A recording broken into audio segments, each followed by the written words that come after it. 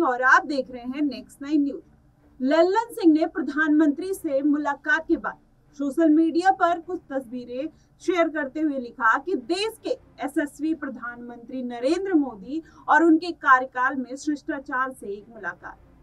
ये वही लल्लन सिंह है जो हाल में संसद सत्र के दौरान केंद्र सरकार पर तीखा हमला बोला करते थे। लल्लन सिंह को अब पता है कि उनकी पार्टी के आला कमान नीतीश कुमार बिहार में एनडीए के साथ मिलकर सरकार चला रहे हैं।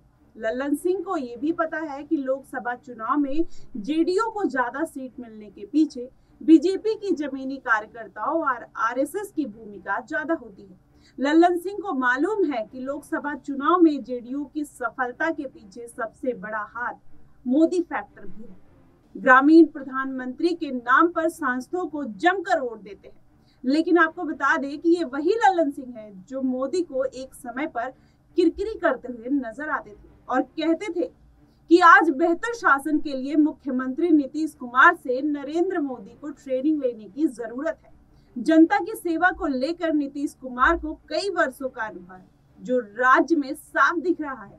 प्रधानमंत्री नरेंद्र मोदी के नेतृत्व में देश के आघोषित आपातकाल लगा हुआ है।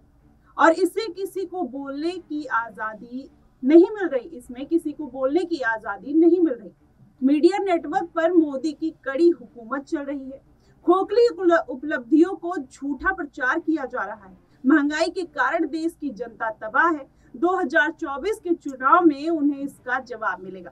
लल्लन सिंह ने आगे ये भी कहा था कि राजनीतिक इशारों पर केंद्रीय जाँच एजेंसियाँ कार्रवाई कर रही हैं, ताकि बोलने की आज़ादी पर अंकुश लगाया जा सके। उपरोक्त बयान में जेडीयू ने जितने भी तत्कालीन अध्यक्ष लल्लन सिंह ने पार्टी के किसान और सहकारिता प्रकोष्ठ के कार्यक्रम में भी दिया था।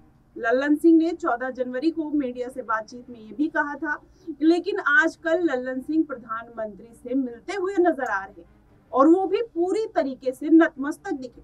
सियासी जानकारी की माने तो लल्लन सिंह दिल्ली इसलिए भी पहुँचे कि वो इस दौरान प्रधानमंत्री के अलावा अमित शाह से भी मिलना चाहते थे। उसके बाद बिहार की सियासत और लोकसभा के सीट शेयरिंग के मुद्दे पर चर्चा भी किया उन्होंने। जानकारी मिल रही है कि इस बार बीजेपी ने विभागों को लेकर अपनी बात नीतीश कुमार के सामने रखी है। परंतु नीतीश कुमार गृह विभाग अपने पास रखना चाहते हैं। अब चूँकि प्रदेश में नेतृत्व बात इसकी बात नहीं बन रही तो हो सकता है कि लल्लन सिंह सियासी दूध बनकर दिल्ली पहुँच गए। अब जेडीयू एक क्षेत्रीय दल है, इसमें जेडीयू की कोई निर्णय यह नीतीश कुमार कर लेते हैं।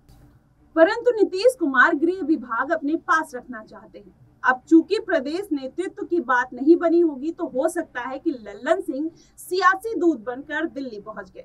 जेडीयू एक क्षेत्रीय दल है इसलिए जेडीयू का कोई भी निर्णय यहाँ नीतीश कुमार कर लेते हैं।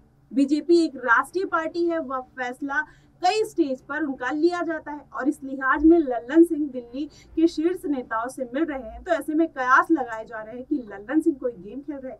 अब चूँकि 12 फरवरी को एनडीए सरकार अपना विश्वास मत हासिल करेगी इसमें कहा जा रहा है कि प्रधानमंत्री मोदी से लल्लन सिंह की मुलाकात बिहार में गृह मंत्रालय को लेकर उठे विवाद को सुलझाने का प्रयास भी हो सकता है। इस मंत्रालय पर कथित रूप से बीजेपी ने दावा ठोका है कि एनडीए में शामिल दलों को एडजस्टमेंट के लिए जेडीयू पर 12 से 14 लोकसभा सीटों पर लड़ने का दबाव डाला जा सकता है, पर जेडीयू इसके लिए तैयार नहीं है। इंडिया गठबंधन भी जेडीयू की सत्रह लोकसभा सीट पर लॉक कर दिया गया था। लेकिन इसलिए सीट शेयरिंग का दावा बरकरार रखने के लिहाज से दिल्ली पहुँचे हुए होंगे वो। मंत्रिमंडल के विस्तार को लेकर एक सूचना ये भी मिल रही है कि नीतीश कुमार अपने मंत्रिमंडल से पुराने आजमाए मंत्रियों को स्थान देना चाहते हैं, पर बीजेपी नए लोगों को मंत्री बनाना चाहती है और इस विवाद को लेकर जेडीयू एक सम्मानजनक अंत चाहती है। शायद इसीलिए लल्लन सिंह नीतीश कुमार के दूध बनकर गए हैं। बहरहाल इन सब में कितना सच है, ये पर्दाफाश तभी होगा जब कोई अधिकृत बयान दोनों दलों की तरफ़ से आएगा। ऐसे में क्या लल्लन सिंह एनडीए में शामिल होते हुए नज़र आएँगे? क्योंकि बीच में अटकलें लगाई जा रही थी कि शायद वो तेजस्वी के साथ भी जा सकते हैं। इस पे आपकी क्या राय है? आप हमें कमेंट सेक्शन में ज़रूर बताइएगा। फ़िलहाल के लिए बस इतना ही। देश और दुनिया की तमाम खबरों के लिए हमारे साथ बने रहिए। Next nine news